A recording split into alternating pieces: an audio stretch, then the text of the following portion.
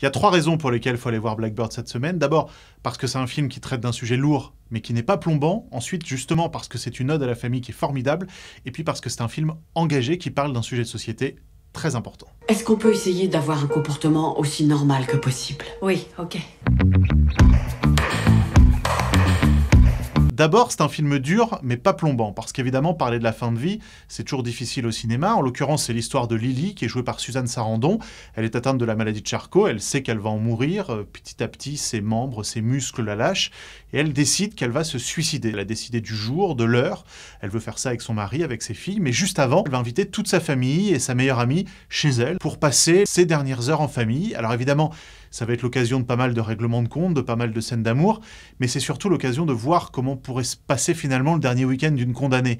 Et c'est ça qui est fort dans ce film, c'est que malgré le sujet qui est dur, on sait, on se doute, même sans révéler la fin, qu'elle va finir par se suicider, eh bien, ce n'est pas un film sombre, c'est un film avec des moments drôles, c'est un film avec beaucoup de luminosité, beaucoup d'amour. Blackbird, en plus, c'est un film qui est réalisé par Roger Mitchell, qui avait fait Coup de foudre à Notting Hill. Donc ça vous donne une idée de son cinéma. Évidemment, le sujet est plus sombre, mais quand même, on retrouve ce cinéma, on retrouve cet espoir dans l'image, cet espoir dans les dialogues, cet espoir dans le jeu des comédiens.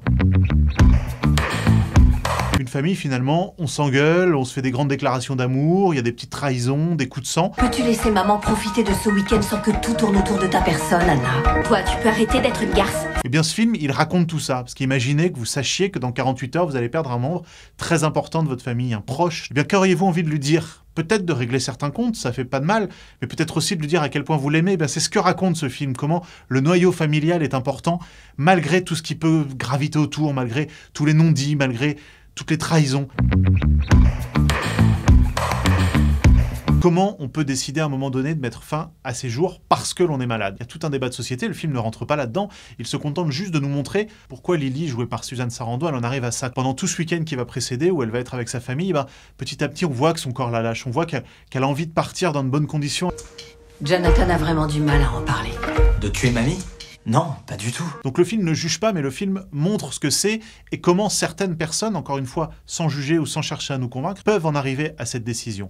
Et un film qui parle de la société avec du romanesque, avec beaucoup de sentiments, beaucoup d'émotions, c'est du cinéma et c'est du grand cinéma. Tu vas me donner un conseil pour la vie Le truc, c'est juste de se pointer et de faire de son mieux. Allez voir Blackbird et surtout n'oubliez pas de vous abonner à Clap sur toutes les plateformes de podcast. C'est toute l'actualité du cinéma traitée par Europe 1. Abonnez-vous, écoutez-nous, commentez-nous, notez-nous écrivez-nous, on vous lit, on est très content. Clap sur toutes les plateformes de podcast.